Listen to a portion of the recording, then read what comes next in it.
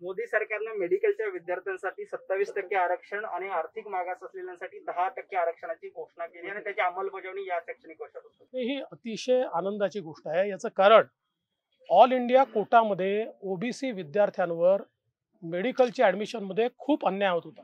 आणि गेल्या अनेक वर्षाची मागणी होती की आम्हाला राज्यात तर त्या ठिकाणी आरक्षण मिळतंय पण ऑल इंडिया कोटा जो आहे या ऑल इंडिया कोटामध्ये ओबीसीना आरक्षण नसल्यामुळे अनेक ओबीसी समाजाचे होतकुरू मुलं डॉक्टर बनण्यापासून वंचित होते. माननीय मोदी साहेबांनी परवाच या संदर्भात इन्स्ट्रक्शन देऊन तात्काळ यातनं मार्ग काढायला सांगितला आणि मला आनंद आहे. म्हणजे आता ही माहिती मला तुमच्याकडनंच मिळाली. मी अजून ती ऑफिशियली घेतली नाही पण हा निर्णय होणार आहे याची कल्पना मला होती. हा निर्णय झाला असेल तर अतिशय आम्ही याचं स्वागत करतो आणि विशेषतः ओबीसी विद्यार्थ्यांना फार मोठा दिलासा या ठिकाणी सरकारनं दिला. आणि त्याचसोबत ज्यांना कुठलंही आरक्षण नाही असे जे गरीब आहेत त्यांनाही एक मोठा दिलासा या दहा टक्क्यामुळे मिळणार आहे.